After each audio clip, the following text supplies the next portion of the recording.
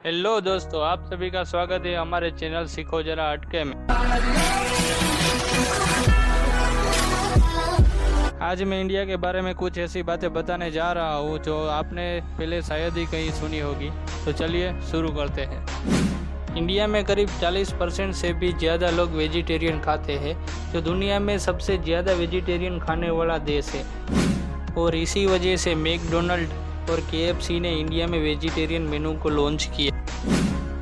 हम इंडियन लोगों को कबड्डी बहुत पसंद है। इसका जीता जागता उदाहरण है कि अब तक के सारे कबड्डी वर्ल्ड कप सिर्फ़ भारत ने ही जीते हैं और महिला कबड्डी में भी सारे वर्ल्ड कप भारत ने ही जीते हैं।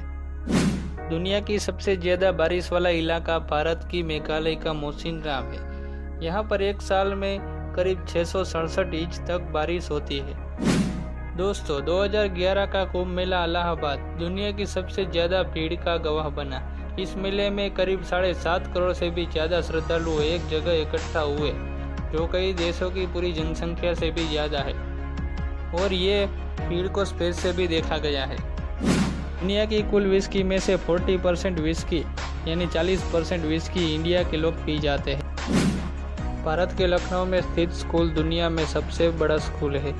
जिसमें करीब पिस्तालीस हज़ार से भी ज़्यादा स्टूडेंट है और जिसका record Guinness book of world record में भी है।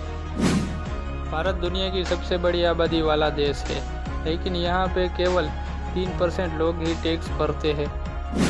ये एक चौंकाने वाली बात है कि एक वोटर के लिए पोलिंग स्टेशन हर इलेक्शन में लगाया जाता है, और वो वोटर है मोहन भारत दास, जो गिर के जंगलों में रहते हैं। इसके लिए गिर के जंगलों के बीच में हर बार पोलिंग स्टेशन लगाया जाता है। अमेरिका के बाद भारत दुनिया में सबसे ज़्यादा अंग्रेज़ी बोलने वाला देश है।